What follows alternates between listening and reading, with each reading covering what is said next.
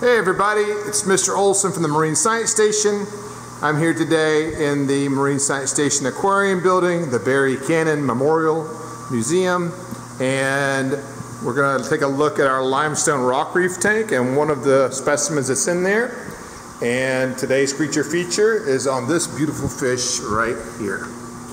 This is the barb fish. This is a native fish to the waters of the Gulf of Mexico. We collected this specimen in one of our trawls with some students uh, a while back and we brought it back for this tank. He's been, or she has been, a really great addition to this exhibit. Scorpion fish are found in the western Atlantic Ocean, the Gulf of Mexico, and all the way down to the coast of Brazil. Its common name is the barb fish. Some people call them scorpion fish. Uh, its scientific name is Scorpaena brasiliensis, and it's got some pretty interesting features. I'm going to try to capture here with this camera. And so you can see has some pretty red coloration and some lots of spots.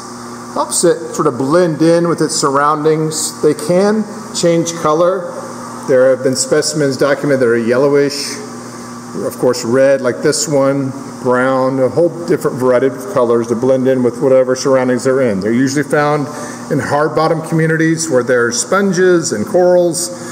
And this specimen was collected near a sponge bed off the waters of Citrus County out in Crystal Bay. this animal is venomous.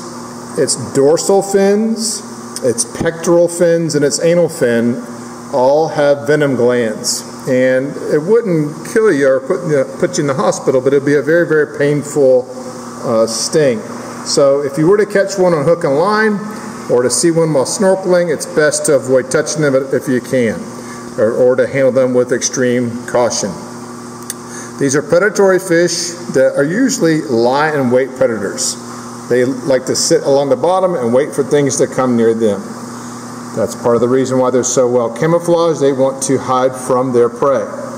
They eat things like crustaceans, shrimp, crabs. They also eat some mollusks and small fish. So whatever they can fit in their mouth, that's probably what they're going to eat if it's swimming around nearby them. They grow to be around 13 inches long, maximum size, and they uh, reproduce out in the Gulf of Mexico and are egg layers, and not much is known about their uh, larval history and their life cycle, but maybe that's uh, a future area of study for some future marine scientists. Their predators would include larger fish like grouper or large snapper, but if any large predator is going to try to eat this thing, it's going to have to contend with those venomous spines. So Many predators probably avoid them or can't even see them based on their camouflage. So again, this is the barb fish, one of our local cool creatures out here in the Gulf of Mexico.